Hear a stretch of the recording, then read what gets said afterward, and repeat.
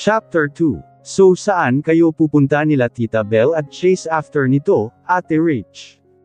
Curious na tanong ni Rie habang kumakain kami. Umayos naman ako sa pagkakaupo at sandaling ibinaba sa plato ko ang hawak na kutsara para kunin ang baso na may lamang juice at uminom doon.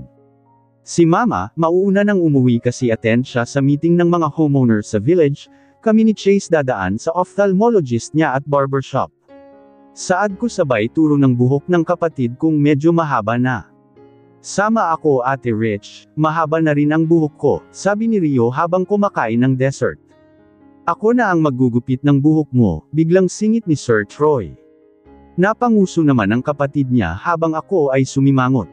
Napaka-killjoy talaga, kuya naman, minsan lang eh. Lagi na lang ikaw ang nagugupit ng buhok ko. Tinatawanan tuloy ako ng mga kaklase ko kapag nakikita nilang hindi pantay ang buhok ko. Reklamo ng kanyang kapatid dahilan para matawa kaming lahat na nasa lamesa. Nako, iyong barbero na naggugupit dito kay Chase, magaling. Napalingon kami kay mama, hindi ko maiwasang mapangiti nang sa wakas ay nagsalita na rin siya. Natural para kay mama ang pagiging mahiyain at ubod ng tahimik nito kahit saan mapunta. Habang kami naman ni Chase ay likas na madaldal. Ang sabi ni mama, naman na raw namin iyon kay papa. Napabuntong hininga ako habang nakatingin kay mama. Kung siguro buhay pa ngayon si papa, baka hindi palaging malungkot si mama.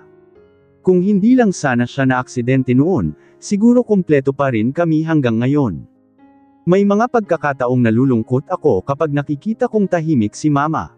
Ang totoo niyan, hindi naman talaga siya ganito katahimik noon. Noong nawala lang talaga si Papa naging ganito na siya. Nang bamaling ang tingin ko kay Sir Troy ay nakita kong nakatingin siya sa akin. I smiled and nodded a bit bago ko ibinalik ang aking atensyon sa pagkain ng dessert na mango graham. Siya nga pala Ate Rich, yung mga librong ginamit ko sa course kong legal management ay ibibigay ko kay Chase as my graduation gift. Automatikong umawang ang bibig ko. Si Chase naman ay napasuntok pa sa hangin dahil sa sobrang tuwa. Talaga, Rie, nako, Maraming salamat. Malaking tulong iyon sa amin lalo na at ang mamahal ng mga librong kailangang bilhin kapag tumuntong na sa kolehiyo iyang kapatid ko. Ngumiti lang si Rie at halatang masaya siya sa kanyang desisyon. Sa buong oras na pananatili namin doon ay puro tawanan lamang ang maririnig sa aming lamesa. Naunang nagpaalam si Mama dahil nag-text na raw ang president ng Homeowner Association. Nakamasid lang kami ni Sir Troy sa tatlong batang masayang nagkukulitan papuntang parking. Siya nga pala, ay attend ako tayo ng wedding ceremony at after party ng pinsan ko sa Palawan bukas ha. Baka makalimutan mo, kumunat ang noo ko nang marinig ang sinabi niya. Anong pinagsasabi mo? Sinong pinsan mo ang ikakasal? Humarap siya sa akin at pinimiwanggan ako. Dinaig niya pa ako sa pagiging ma-attitude sa hitsura niya ngayon. Pijal na pijal ko tuloy ang aking sarili na matawa dahil sa totoo lang, hindi bagay sa kanya ang mag-inarte. How dare you forget it? Ilang beses ko yung binanggit sa iyo last month. Sinabi ko pang ilagay mo sa memo pad mo para hindi mano makalimutan. Naitakip ko ang aking palad sa aking bibig nang maalala ang araw na bumisita sa kanyang opisina ang pinsan niyang si Richard Cruz na ubod ng gwapo at talaga namang type. Ang kaso engage na pala ito at ikakasal na. Naghatid lang ito ng invitation card kay Sir Troy. Naalala ko na, yung gwapo mong pinsan na crush na crush ko ang ikakasal tama ba ako? Sinaman lang ako nito nang tingin nang marinig ang sinabi ko. Para namang ngayon niya lang narinig mula sa bibig ko ang tungkol sa pagkakagusto ko sa pinsan niya. Ang open ko kaya sa kanya. At isa pa, hopeless case naman ang pagkakagusto ko roon dahil halatang mahal na mahal nito ang kasintahan.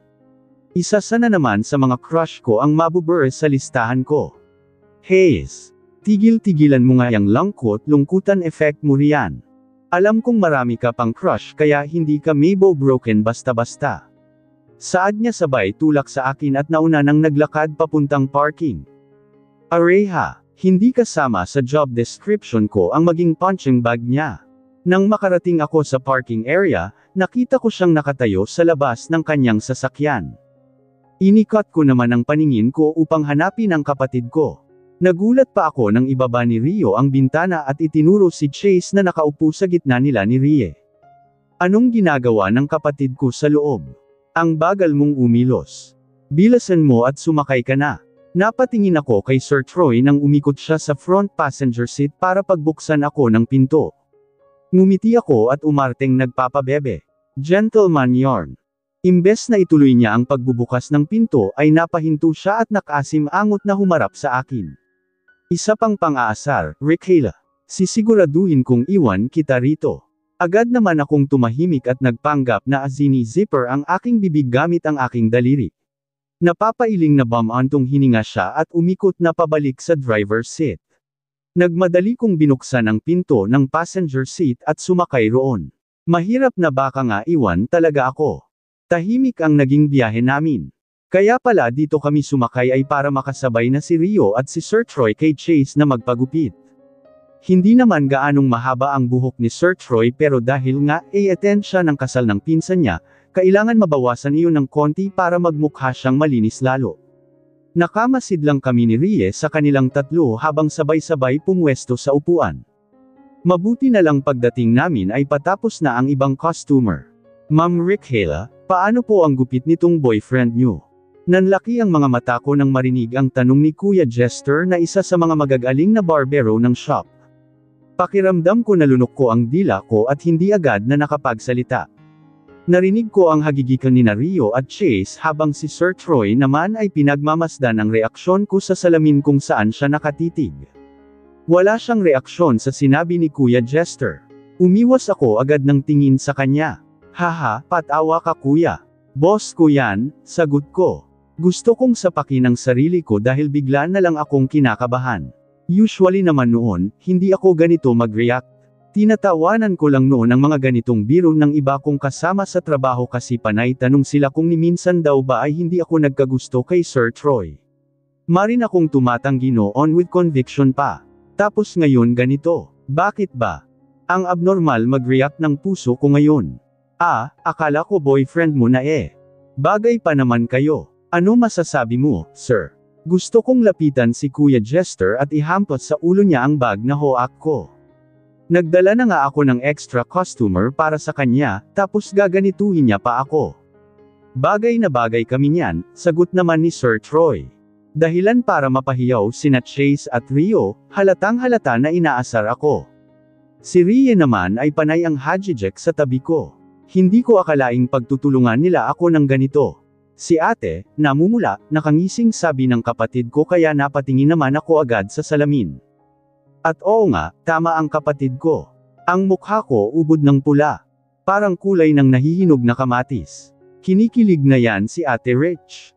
Segunda pa ni Rio. Sinimangutan ko lang silang dalawa at nagpanggap na hindi apektado. Inabala ko na lang ang sarili ko sa pag-scroll sa Twitter hanggang sa hindi ko na namalayan na nakaidlip na pala ako. Isang mahinang tapik sa aking balikat ang nagpagising sa akin. Nang magmulat ako ay nakita ko ang mukha ni Sir Troy na sobrang lapit sa mukha ko. Dahil sa labis na pagkabigla ay naitulak ko ang mukha niya palayo gamit ang palad ko. Kinusot ko agad ang mata ko ay inililbot ang aking paningin para hanapin ang kapatid ko. Lumabas na sila. Inutusan ako ni Chase na gisingin ka kasi ang lalim ng pagkakatulog mo. Lang beses ka na niyang sinubukang gisingin pero hindi ka magising. Dedepensahan ko pa sana ang sarili ko kaso nabigla ako nang bigla niyang hawakan ang dalawang kamay ko at hinayla ako patayo sa sofa. Umatras ako agad palayo sa kanya nang makitang sobrang lapit namin sa isa't isa.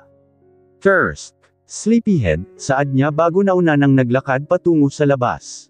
Humiwalay na kami sa kanila ni Chase dahil may iba pa kaming dadaanan ng kapatid ko. Ate, yung totoo, wala ka ba talagang gusto kay Kuya Troy? Tanong ng kapatid ko habang naglalakad kami papasok ng opisina ng kanyang doktor sa mata. Sinaman ko siya ng tingin. Bakit ba paulit-ulit niyong tinatanong sa akin yan? Last year pa yan ah. Kaya nga, last year ko pa tinatanong pero hindi mo pa rin sinasagot. Huminto ako sa paglalakad at hinawakan sa magkabilang balikat ang kapatid ko. Chase, hindi ko gusto si Sir Troy, okay. Mabilis naman siyang nagkibit balikat, hindi akin naniniwala, aniya sa kanaglakad ng mabilis papalayo sa akin. Sa mga oras na ito, sa totoo lang, gusto ko na lang maglupusay sa sahig.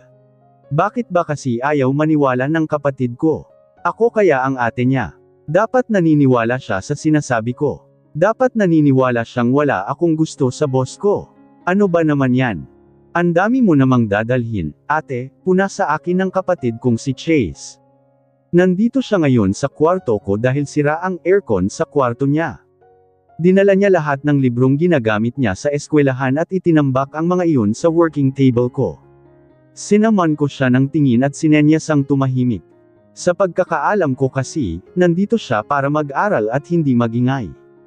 Busy ako ngayon mag-asikaso ng mga gamit na dadalhin ko sa Palawan para sa kasal ng crush ko na pinsan ni Sir Troy. Real talk ate, parang dinaig mo pa yung lalayes sa dami ng dress na dadalhin mo. Pinagtaasan ko ng kilay ang kapatid ko. Lakas makakomment ha. Palibas sa walang alam sa nangyayari sa akin. Porket hindi niya kilala ang boss ko bilang reklamador at maarte. Kung sa tutusin, kung kaya ko lang dalin ang buong closet ko sa Palawan ay gagawin ko. Paniguradong boss ko na naman kasi ang mamimili ng isusuot ko. Maganda ba? Tanong ko sa kapatid ko habang ipinapakita sa kanya ang isang pastel peach color dress na abot hanggang ibaba ng tuhod ko ang sukat. Basta ikaw ang nagsusuot, lahat maganda. Saad nito saka itinaas baba ang dalawang kilay. Hindi ko alam kung nang aasar o nagsasabi sa akin ng totoo. Anak, nandito ang boss mo. Mabilis akong bumaba ng kama nang marinig ko ang sinabi ni mama. Napatingin muna ako sa wall clock sa kwarto ko at napahinto nang makitang mag-aalas 7 na ng gabi. Gabi na ah, bakit siya nandito? May emergency kaya? Puntahan mo ate, alam ko namang excited kang makita si Kuya Troy. Kininang kitan ko ng mata ang kapatid ko at umamba pang susuntukan ko siya, ang kaso, bigla na lang may humawak sa braso ko. Ang lalaking dapat ay pupuntahan ko sa baba ay narito na at ang walang hiya, dirdiretso pang pumasok sa loob ng kwarto ko. Napanganga ako nang makitang dumiretso siya sa kama ko at umupo roon. Hi, Chase, bati pa nito sa kapatid ko na parabang close na close sila. Well, kung sa bagay, close nga naman talaga sila. Pero kahit na, hindi pa rin tama yun. Tama ba yung dirdiretso siyang pumasok sa kwarto ko nang walang palm? Ang sama talaga ng ugali nitong buwizet na to. Padubog na naglakad ako papunta sa kanya. Walang sabing hinawakan ko ang dalawang kamay niya at hinayla siya patayo, pero nanlaban pa talaga ang kumag.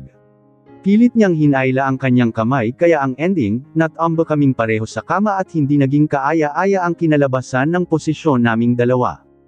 Nang magmulat ako ay kitang-kita ko ang kabuuan ng kanyang mukha. Enjoying the view. Tanong niya sa kangumisi. Mabilis akong tumayo mula sa pagkakadegan sa kanya at sumimangot. Nakita ko namang nakatitig lang sa amin si Chase at nakangisi habang umiiling-iling. Sa totoo lang, sanay na ang kapatid ko sa ganitong treto namin ni Sir Troy sa isa't isa. Tumitig pa sa akin ang kapatid ko sa kanginisihan pa ako bago nito isinuot sa kanyang dalawang tainga ang kanyang earphones. Agad ko namang ibinalik ang aking atensyon kay Sir Troy na ngayoy abala na sa pagtingin ng mga damit na kasalukuyan kong inaayos. Labas, sabi ko sa kanya, sa lagay na ito, kalmado pa ako. Huwag niya lang sanang hintayin na sapian ako ni Yellow Ranger dahil talagang sisimain siya sa akin at kakaladkarin ko siya palabas. Labas sabi, sigaw ko. Tila wala itong narinig dahil patuloy lang ito sa ginagawa. Masama pa ang tingin nito ng bamaling sa akin. Ito ang damit na dadalhin mo. Sigurado ka ba sa desisyon mo? E lahat ng damit na to nasuot mo na di ba? Napayuko naman ako. Bigla tuloy umurong yung galit ko sa kanya nang marinig kung gaano siya kadismayado. Ngayon gets ko na, kaya pala siya nandito, para i-check ang mga dadalhin ko. Alam ko naman kung gaano siya kahigpit sa mga bagay na ganito. Ang gusto niya, kahit isa lamang niya akong hamak na sekretarya ay nabibihisan niya ako ng maayos at presentable na kasuotan. Hindi ka man lang bumili. Tanong niya, nakagat ko ang aking ibabang labi bago umiling. Nagangat ako ng tingin at kitang-kita ang iritado niyang ekspresyon. Eh, sorry na, naka-budget na kasi yung sahod ko. Alam mo naman hindi ba na ako lang ang gumagastos dito sa bahay? Hindi ko na napaglaanan ng pera yung damit. Sorry na. Pabulong na sambit ko. Gusto ko na lang sampilan ang sarili ko ngayon dahil nahihiya ako sa kanya. Ang totoo niyan, talagang nakalimutan ko ang tungkol sa lakad namin kaya hindi ko naasikaso ang mga gagamitin ko.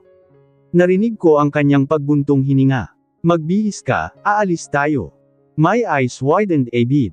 Kami, aalis. Sa ganitong oras. Aba naman, anong tingin niya sa akin pick-up girl na pwede niyang ilabas kung kailan niya gusto. Nakasimangot siyang tumingin sa akin. Inilapit ko ang mukha ko sa kanya para tingnang mabuti ang reaksyon niya at ang mga mata niya. Inis na itinulak niya papalayo ang mukha ko gamit ang kanyang palad. Alam kong kung ano-ano na namang tumatakbong kalokohan dyan sa isip mo, lilinuin ko lang, nyayaya kitang lumabas dahil bibili tayo ng damit mo. Napanguso naman ako agad. Wala nga akong pera, nang hihinang paliwanag ko. Sagot ko nga. Nang marinig ko ang kanyang sinabi ay para bang nagkaroon siya ng pakpak sa aking paningin. He's truly an angel. Tuwang-tuwa na lumapit ako sa kanya para yamakap pero hindi ko natuloy nang mabilis siyang tumalikodi at naglakad papalabas ng kwarto ko.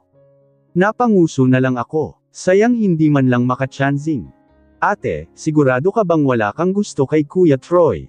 Sinaman ko ng tingin ng kapatid ko at marahang hinayla ang buhok niya. Imbes na amaray ay tumawa pa ang loko. Magbihis ka na ate, mukhang may date pa kayo.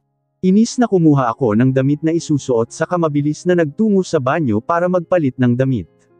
Hindi ko talaga alam kung saan nagmana ang kapatid ko at napakagaling mangasar. May pagkakataong nakakatuwa naman siya pero kadalasan ay nakakairita. Paglabas ko ay pasimpleng binatukan ko siya. Narinig ko ang reklamo niya pero hindi ko siya pinansin. Bago pa ako tuluyang lumabas ng kwarto ko ay sinaman ko pa siya ng tingin. Huwag kang manggangupit sa alkansya ko ha. He rolled his eyeballs towards me saka itinaboy ako papalayo gamit ang kanyang kamay. Pagbaba ko sa living room, nakita ko agad si mama na nagwawalis sa sala. Maano ba, gabi na huwag ka nang magwalas, lalabas ang swerte. Tinuwanan lang ako nito. Ewan ko ba rito sa nanay ko, palagi ko namang pinagsasabihan tungkol sa mga pamahing natutunan ko sa mga matatanda noon pero ayaw akong paniwalaan. Nauna na ang Sir Troy mo sa labas, ang sabi niya sumunod ka na lang daw roon. Saan ba kayo pupunta anak? Sumimangot ako. Kita nyo, yayayain akong lumabas ng siraulong yun pero hindi man lang nagsabi sa nanay ko. Hindi ko rin alam, Maria. Basta kapag 24 hours na tapos di pa ako nakakauwi, malamang may ginawa na sa aking masama ang boss ko. Isang napaiwas naman ako agad nang iniangat ni mama ang hawak na Wally's Tambo at umambang ihahampas ito sa akin. Nag-peace ako rito saka tumakbo palabas ng bahay. Ewan ko ba rito sa nanay ko, napakalaki ng tiwala kay Sir Troy. Pagdating ko sa labas ay muntik pa akong mapatalon nang biglang bumusina ang sasakyang nasa harapan ko lang. Sa sobrang inis ko ay inis na pinagsisipa ko ang pinto nito ng front passenger seat. Nang makita niya ang ginagawa ko ay mabilis niyang binuksan ang bintana at pinaningkitan ako ng mata. Umayos ako sa pagkakatayo at inayos ang buhok ko na bahagyang nagulo. Get in.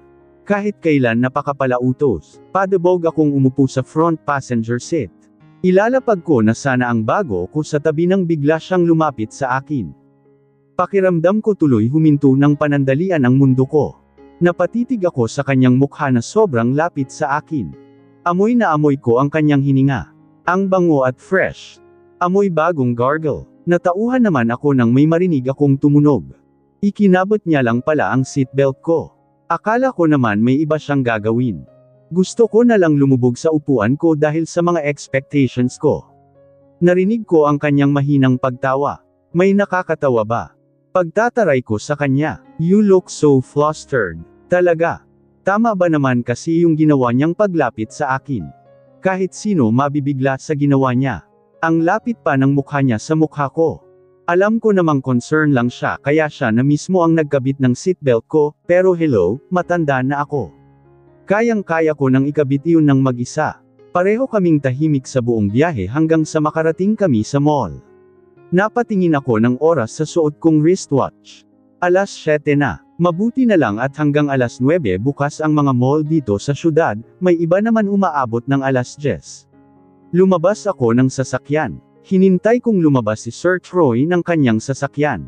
Pinagtaasan. Pa ako nito ng kilay habang naglalakad palapit sa akin. Inabot niya sa akin ang kanyang car keys at wallet. Tinanggap ko naman iyon. Nakasanayan ko na iyong gawin. Hindi lang kasi niya ako secretary, yaya niya na ako. Nauna siyang naglakad papasok ng mall at wala namang ibang nagawa kundi sumunod sa kanya. Isa habang nag-ikot kami ay panay ang tingin sa kanya ng mga babaeng nakakasalabong namin. Binilisan ko ang paglalakad para sabayan siya. Saan ba tayo pupunta? Tanong ko, lang minuto na kaming naglalakad dito sa mall tapos hanggang ngayon wala pa rin kaming nararating. Found it. Aniya saka mabilis na naglakas patungo sa isang butik sa hindi kalayuan. Mahastik basa ko sa pangalan ng butik na nakalagay sa labas nito. Wala akong ganang kumilos. Kung hindi pa ako hinayla ni Sir Troy papasok ay hindi talaga ako papasok. Mukhang nahuhulaan ko na ang magiging kapalaran ko rito sa butik na ito. Bamantong hininga na lang ako habang pinagmamasdan ang sarili ko sa salamin. Nang bumalik sa kinaroroonan ko si Sir Troy ay may kasama na itong babaeng staff. Sinabi nitong tulungan akong mamili ng damit na naaayon sa okos yung pupuntahan namin. Sabi ko na, eh, tama talaga yung hinala kong magsusukat na naman ako ng mga damit hanggang sa may magustuhan siya. Baka ako hinayla ng staff papasok sa loob ay kinuha niya na sa akin ang bitbit kong bag. Sa tuwing hindi niya magugustuhan ang mga damit na sinusukat ko, ay parang gusto ko na lang maiyak. Ito yata ang parusa niya sa akin dahil nakalimutan ko ang tungkol sa event na pupuntahan namin. Nakakailang palet na ako, may mga pagkakataong napapahikab na ako dahil inaantok na ako pero sinusubukan ko pa ring maging attentive dahil ayokong awayin niya ako rito sa shop ngayon. Nang sa wakas ay mayroon na siyang mapili ay nakahinga naman ako ng maluwag. Mabilis kong isinuot muli ang aking damit habang siya naman ay nagbabayad sa counter. Antok na ako. Mahinang sambit ko pagkalabas namin sa butik. Huminto naman siya at pinagmasdan ako. Ayaw mo bang kumain muna? Umiling ako at nagpatuloy sa paglalakad. Sa bahay na lang ako kakain. Gusto ko na ring umuwi dahil gustong gusto ko nang humiga sa kama ko. This is the most tearing day ever. Ang dami kong ginawa ngayong araw. Rick Hala. Nang marinig kong tinawag niya ang pangalan ko ay lumingon ako. Hindi ko alam kung gaano kabilas niyang nagawa iyon pero bigla akong nagising nang makitang may hawak siyang ice cream sa kanyang dalawang kamay. Ice cream is my best comfort food. Mabilis akong lumapit sa kanya at kinuha sa kaliwang kamay niya ang isang cup na may lamang ice cream na cheese ang flavor. I smiled to myself when realized that he still knows my favorite ice cream flavor. Yung kanya naman ay ube flavor. Inubos muna namin ang ice cream bago kami sumakay ng sasakyan. Sorry for bothering you tonight, I hope that you could rest well tonight. Tipid akong ngumiti sa kanya bago lumabas ng kanyang sasakyan. Rick Hala, napatigil ako sa paglalakad nang muli niya akong tinawag. Po, Sir Troy. Tanong ko. Thank you. I smiled and bowed my head a little bago tuluyang tumalikod at naglakad na papasok sa loob ng bahay. Hindi ko alam kung ano ang ipinagpapasalamat niya. But he's been like that since then kaya nos anay na ako. Gusto ko ring magpasalamat sa kanya, sa lahat ng mga kabutihang ginawa niya sa akin at sa pamilya ko. Napakalaki ng naitulong niya sa akin. Gusto kong magpasalamat pero hindi ko kayang sabihin sa kanya ng personal. Hindi pa, pero alam kong darating ang tamang panahon kung kailan masasabi ko sa kanya ang mga gusto kong sabihin. Nakangiti ka riyan. Mukhang masaya ang date nyo ah. Automatikong naglaho ang ngiti sa mga labi ko nang makita ko ang kapatid kong nakatitig sa akin ngayon. Hindi nga yung date. Sa kadu, ano naman kung nakangiti ako? Hindi ba pwedeng ibang tao ang dahilan? Umiling-iling ang kapatid ko sa sinabi ko at nagpatuloy ito sa paglalakad patungong kusina. Tinapik-tapik ko ang aking pisngi. Bakit ka naman kasi ngumingiti mag-isa, Harry Kayla? Wow, himala, ang konti ng dadalan mo, puna ng kapatid ko sa akin habang inaasikaso ko at sinicheck ng mabuti ang mga gamit na dadalan ko. Pasalamat na lang din talaga ako kay Sir Troy dahil binilihan niya ako ng damit na susuotan. Makakahinga ako ng maluwag dahil konti lang ang bibitbitin ko. Sagot ko naman pagkatapos kong isara ang zipper ng malita. Nanatiling nakatayo ang kapatid ko sa may pintuan mukhang hinihintay ako nitong matapos. Nakita kong hawak nito ang kanyang necktie. Bamantong hininga ako at naglakad palapit sa kanya at kinuha sa kamay niya ang necktie. Pinatuwid ko siya sa pagkakatayo para maayos kong may tali ang necktie niya. Magka-college ka na, hindi ka pa rin marunong magsuot ng necktie. Tipid siyang ngumiti habang natitig sa akin. Nandyan ka naman ate. Nginisihan ko siya at tinulak palayo ang kanya mukhang gamit ang palad ko. Tumawa naman siya at naglakad patungo sa kwarto niya para kunin ang kanyang bag. Nang muli siyang dumaan. Sa labas ng kwarto ko ay agad ko siyang tinawag. Sumilip naman siya sa pinto at hinintay ang sasabihin ko. Kumuha ako agad ng pera sa wallet ko at naglakad palapit sa kanya para ibigay ang allowance niya. Kasya naman siguro yan sa isang linggo mo ano. Napatingin siya sa dalawang libo na hawak niya. Masyadong malaki ito, ate. Ngumiti ako ako at marahang ginulo ang buhok niya. E di mabuti para marami kang mabiling pagkain, ang takaw mo pa naman. Tumawa lang siya at mabilis na yamakap sa akin. Thank you, ate. Noong bata pa kami, palagi kaming hindi nagkakasundo nito ng kapatid ko dahil magkaiba ang hilig namin. Palagi siyang naiinis sa akin dahil mahilig akong manood ng TV ng may malakas na volume. Ayaw niya noon dahil naaabala siya sa pagbabasa ng libro. Kapag nag-aaway kami, bilang ganti ko, pupunuin ko ng drawing ang unang pahina ng lahat ng kanyang mga libro, liyak siya noon at magsusumbong kay mama. At dahil siya ang bunso, palagi siyang kinakampihan ni mama. Pakiramdam ko noon, hindi ako importante sa mga magulang ko. Na mas mahalaga lang sa kanila si Chase kasi si Chase, matalino kahit bata pa siya. E ako noon, puro kalokohan lang. Ang alam ko, palagi pang napapatawag sa eskwelahan si mama dahil mahilig akong lumaban sa mga nambo bully sa akin, ang ending, ako pa ang naging masama. Pero habang lumalaki ako, nare-realize ko na hindi naman pala sila nagkulang sa akin. Hindi ko nga alam kung paano ako natiis ng mga magulang ko. They never use violence to discipline me.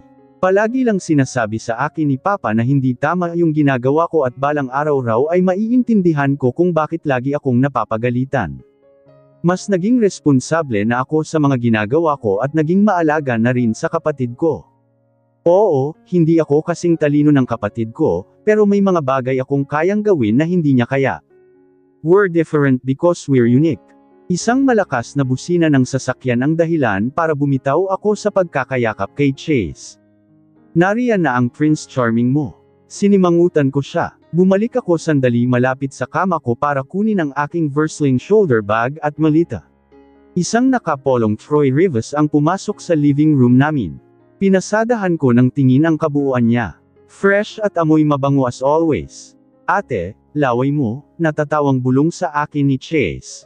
Mabilis ko naman siyang kinurot kaya napatiningnan ni Sir Troy ang suot ko. Mukhang nakapasa naman sa kanya ang suot kong awfully. Satin blouse na pinatungan ng crushed sleeve blazer. Samantalang ang pangibabang suot ko naman ay top point belted trouser. Hinayaan ko lang nakalugay ang buhok kong umaabot hanggang baywang. Tinaasan niya lang ako ng kilay at naglakad palapit sa akin para kunin ang malita na bitbit ko. Kaya ko na, saad ko. Pero parang wala siyang narinig at kinuha niya pa rin ito. Makahulugang ngumiti sa akin ang kapatid ko. Oh, Chase, papasok ka na ba? Tanong niya sa kapatid ko. Tumanggo naman ito. Sumabay ka na sa amin, ay dadaan ka namin sa Adamson. Umiling naman agad ang kapatid ko. Nako hindi na po Kuya Troy. Magko-commute na lang po ako. Huminto si Sir Troy at napatitig sa kapatid ko, marahil sinusubukan niyang basahin ang isip ng kapatid ko. Ate Rickela, Kuya Troy, una na po ako. Mabilis na humalik sa pisngi ko si Chase bago tumakbo palabas ng bahay. Pareho namin itong sinundan ng tingin. Anong nangyari roon? Dati hindi naman yun tumatanggi kay Sir Troy. Fair na. Bumaling akong muli kay Sir Troy sa katumango. Nauna itong lumabas para ilagay sa likod ng sasakyan ang gamit ko. Akmang bubuksan ko pa lang ang pinto ng backseat nang marinig ko ang kanyang pagbuntong hininga. Gagawin mo pa akong driver mo. Dito ka umupo sa harapan. Huwag mo akong asarin ngayon araw dahil wala ako sa mod. Napanguso ako saka lumakad ng konti para buksan ang pinto ng front passenger seat. Pagsakay ko ay nakita ko agad na biglang sumama ang hitsura nito. Ang kinain yata nitong umagan ay sama ng loob. Sakto namang napatingin ako sa kalendar at napagtantong labimpito ngayon. Napayuko naman ako. Kaya pala, death anniversary pala ngayon ng pagkamatay ng parents niya. Tahimik na ikinabot ko agad ang aking seatbelt bago isinandal ang aking ulo sa bintana ng kanyang kotse. Hindi man lang siya nagsalita habang nasa biyahe kami. Naiintindihan ko naman. Pero ganito pala yung pakiramdam kapag nakikita mo yung boss mo na malungkot, tapos alam mong hindi siya mahilig magkwento. Hindi ko alam kung bakit pati ako nalulungkot din. Parang may mabigat na nakadagan sa dibdib ko. Pakiramdam ko rin mapapanisan ako ng laway. Ngayong araw dahil mukhang wala yata itong balak na makipag-usap sa akin. Sir Troy, tawag ko sa kanya. Napansin ko kasing ang lalim ng iniisip niya habang nagdadrive. Mukhang hindi niya na napansin ang oras. Mag-aalas 12 na at ang totoo niyan, gutom na ako. Hindi ko rin nga alam kung anong trip niya eh. Usually ay nag-eeroplano kami kapag may mga ganitong event kaming pupuntahan. Kung alam ko lang na travel by land and sea ang gagawin namin, dapat nagpijama at sweater na lang ako para naman hindi hassle magkikilos. Sir Troy, hindi ba tayo kakain? Nang tumunog ang sikmura ko ay saka siya napalingon sa akin. Gutom na ang aking mga alaga. Baka naman, sir, kain muna tayo kung may awa ka sa akin. Mamaya ka na ulit mag-inote riyan, please. Ipinagdikit ko pa ang dalawang palad ko para makita niyang seryoso ako sa sinasabi ko. Narinig ko ang mahina niyang pagbuntong hininga. Nang may madaanan kaming fast food ay huminto muna kami. Ipinark niya ang kanyang kotse sa parking area. Nauna na akong lumabas ng sasakyan at mabilis na tumakbo papasok ng main entrance ng fast food. Mabuti naman at walang masyadong pila kaya mabilis lang akong nakapag-order ng pagkain. Lahat ng mga customer ay agad napalingon kay Sir Troy nang pumasok siya sa loob. He's only wearing his polo shirt, marahil alam niyang mainit sa labas kaya iniwan niya na ang kanyang coat sa sasakyan. Binigyan ako ng number ng staff bago sinabing ihahatid na lang daw sa lamesa namin ang order ko. Smile naman dyan. Nang magangat siya ng tingin sa akin ay agad ko siyang sinalubong ng isang malaking ngiti. Like this oh, sabi ko pa sabay turo sa labi ko. Tumawa siya ng mahina. Napangiti ako habang nakatingin sa kanya. At least, ngumiti siya kahit sandali. Sinubukan ko siyang pasayahin sa pamamagitan ng pagkukwento ko ng mga nakakatawang karanasan ko noong elementary pa lang ako. Nang dumating ang pagkaing in-order ko ay pinilit ko rin siyang kumain. Nakareceive kasi ako ng text kay Rie na hindi raw ito nag-agahan bago umalis. Nakita kong may sunny side up palang kasama ang pagkaing in-order ko. Agad na inalis ni Sir Troy ang puti na nakapalibot dito at inilagay nito iyon sa plato ko. Habang ako naman ay kinuha ang puti ng itlog at ibinigay sa kanya ang gitna nito, else iyon sa mga bagay na pinagkakasunduan namin. He doesn't eat egg whites, ako naman hindi kumakain ng egg yolk. Hindi niya naubos ang pagkain pero ayos lang basta kumain siya. Grabe nabusog ako. Saad ko habang hinihimas ang tiyan ko. Lumingon ako sa kanya at nakita. Namang bahagyang umaliwalas ang ekspresyon ng kanyang mukha. Bayaran mo sakin yung kinain mo ah. Paalala ko sa kanya. Napaawang naman ang bibig niya at hindi makapaniwalang tumingin sa akin. Isandaan at dalawampung pesos lang, babayaran ko pa. Masama ang loob na tanong niya. Natawa naman ako kaya mas lalo siyang nenas sa akin. Tumakbo na ako palayo sa kanya dahil paniguradong hihilahin niya na naman ang buhok ko. Papasok na sana ako ng sasakyan nang may marinig akong boses ng lalaki sa hindi kalayuan. Dahil normal sa akin ang maging isang chismosa at pakialamera, sinundan ko ang ingat kong ito saan nang gagaling. Nagulat ako nang makitang hawak ng isang lalaki ang buhok ng babae at paulit-ulit itong sinisigawan. Pinagmasdan ko pa ito ng ilang segundo at nabigla ako nang biglang sampilan ng lalaking iyon ang babae. Hindi ko alam kung mag-asawa sila o ano. Hindi kasi nanlalaban yung babae, umiyak lang ito. Rick Hela hindi ka pa ba, mabilis kong tinakpan ang bibig ni Sir Troy gamit ang palad ko. Sinenyasan ko siyang huwag maingay. Nang akmang sasampalin niyang muli ang babae ay mabilis kong inayos ang pagkakasuot ng bag ko at patakbong nagtungo sa lalaki. Bumuwelo ako bago mabilis itong sinipa. Agad naman itong tumamba sa lupa. Ang kapal ng mukha mong manakit ng babae ah. Sino ka ba sa tingin mo? Inis na bamaling sa akin ang lalaki. Mabilis itong tumayo at pinagpag ang nadumihan niyang pantalon. Asawa niya ako, bakit? At isa pa, sino ka ba para makialam sa amin? Pakialamera ka, baka gusto mong maranasan ang impyerno. Mabilis na nagtago sa likuran ko ang babae. Hindi ko naman mapigil ang matawa sa sinabi ng lalaking nasa harapan ko. Impyerno, nagpapatawa ka yata, baka hindi mo alam na taga roon ako. Palaban kong sambit. Akmang sasampalin ako nito ang mabilis kong iniharang ang braso ko at malakas siyang sinampal gamit ang kanang palad ko. First, pasalamat siya hindi pa iyon sobrang lakas. Ngumiwi ang lalaki dahil sa sakit ng panga niya. Susugod pa sana siyang muli nang lapitan ko siya para sampilan muli. Sa pagkakataong ito, gamit ko na ang kaliwang palad ko kaya sigurado na akong malakas iyon. Tumamba muli ito sa lupa. Hawak-hawak nito ang labi na dumudugo na. Sa susunod, huwag ka na ulit mananakit ng babae. Pasalamat kayan lang natamo mong kupal ka. Sinamaan ko pa ito ng tingin bago muling bumaling sa babaeng nanginginig na ngayon. Dinala ko ang babae sa isang malapit na tea shop. Halos 30 minutes din ito bago tuluyang kumalma. Naikwento ng babae na yung lalaki ay dati niyang ka-live-in. Mabait naman daw ito noong una, ang kaso ay bigla itong nagbago hanggang sa nagsimula itong saktan siya pati ang mga anak niya kaya noong may pagkakataon silang tumakas ay tinakasan nila ito. Ang kaso, hindi sinasadyang nagkita sila kanina at agad siya nitong kinaladkad at isinakay sa kotse. Bago siya sumakay ng taxi ay sinabi kong mag-iingat na siya sa susunod at mas makabubutayi kung i-report na niya ito. Napabuntong hininga ako habang pinagmamasdan ng papalayong taxi. Inalis ko ang pagkakasabit ng bag ko sa aking leeg at ibinalik iyon sa aking balikat. Pagharap ko sa bandang kaliwa ko ay nakita ko si Sir Troy na nakatayo sa hindi kalayuan. Kumaway naman ako rito at nagmadaling maglakad patungo sa kinaroroonan nito. Bamantong hininga siya at mabilis na lumapit sa kinaroroonan ko. Nabigla ako nang inilapat niya ang palad sa ibabaw ng buhok ko at marahang hinaplos iyon. You did a great job, nakangiting saad niya. Tumawa naman ako at kinuha ang kanyang kamay sa ulo ko. Hindi na ako bata para bigyan mo ng headpat. Bamantong hininga ako bago nagangat ng tingin sa kanya. I was born to be the protector of my family, kaya hindi ko kayang may nakikita akong mga nasasaktan dahil sa mga walang kwentang tao. Hindi ko kayang may nakikitang inaabuso, lalo na ang pamilya ko. At ikaw, kayo nila Rie at Rio, if I'll need to protect you, I will do it. Tumango naman siya, kaya nga ikaw ang secretary ko. Kasi alam kong puprotektahan mo ako. Nakangiti naman akong sumaludo sa kanya bago nagmadaling tumakbo patungo sa parking area kung saan nakaparada ang sasakyan niya. Nakangiti siya nang pumasok siya ng kotse.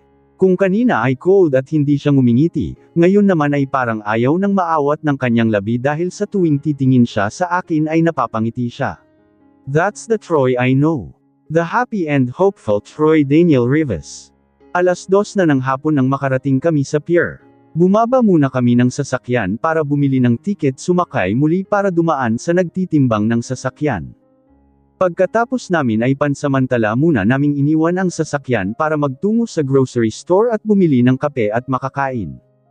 Lang oras din kasi ang biyahe sa barko, just in case na magutom kami, bumili na ako ng mga pwedeng kainin. Paglingon ko sa pinakadulong bahagi ng estant ay may nakita ako ng kandila roon. Napalingon ako kay Sir Troy na abala sa pagkuha ng energy drink sa fridge ng kafe. Itinuro ko ang kandila sa tindera at sinabing bibili ako ng dalawang piraso. Mabuti na lang at pumayag itong pagbentahan ako ng tatlong piraso dahil may store na hindi nagbebenta ng per piraso. Nang makapagbayad na si Sir Troy ay sinabi kong mauna na siyang bumalik sa sasakyan. Kumuha na rin ako ng lighter at isinama sa kandila na nasa cashier's desk. Napabuntong hininga ako habang tinatanaw si Sir Troy na nakatayo sa hindi kalayuan at tinatanaw ang banayad na karagatan. Siyam na taon na mula nang mamatay ang mga magulang nila. Pero para kay Sir Troy, parang kahapon lang iyon nangyari. Nararamdaman kong hanggang ngayon mas akit pa rin para sa kanya ang pagkawala ng mga magulang niya. He's too young that time. He's just 18 years old. He should be exploring things, enjoying his teenage years, pero dahil sa sabay na pagkawala ng kanyang mga magulang, siya na ang tumayong magulang ng kanyang mga kapatid. Sa kanyang murang edad, napilitan siyang tanggapin ang responsibilidad na iniwan sa kanya ng mga magulang niya. Pinatakbo niya ang kanilang kumpanya sa maayos na paraan.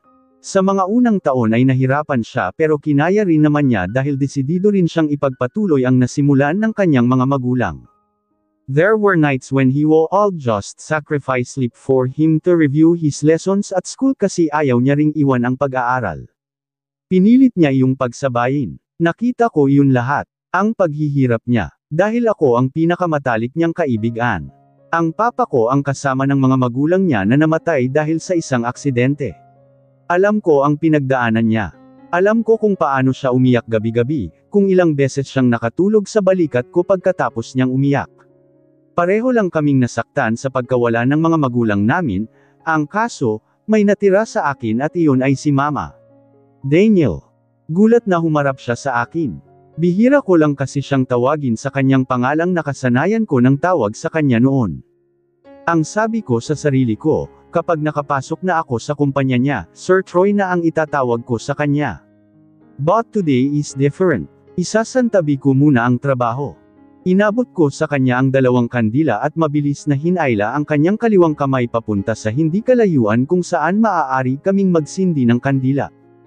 Lapit mo sa akin para masindihan ko. Ginawa niya naman ang inuutos ko. Naramdaman ko ang pag-init ng palibot ng mga mata ko habang sinisindihan ang kandilang hawak niya. Loyus, garalgal ang boses na tawag niya sa pangalan ko, sa pangalan kong nakasanayan niyang itawag sa akin. Sabay kaming nagangat ng paningin at sabay ring tumulo ang luha sa aming mga pisngi. Tumango ako sa kanya, humarap kaming muli sa dagat at sabay na pumikit. Gusto kong sabihin kay Papa na kahit wala na siya, sinisiguro kong maayos ang kalagayan ni Chase at ni Mama. Nang magmulat ako ay hinaypan ko ang kandila. Ganoon din ang ginawa ni Daniel. Kinuha niya ang kandila na hawak ko at inilapag sa isang tabi. Humarap siya sa akin at hinawakan ang dalawang kamay ko.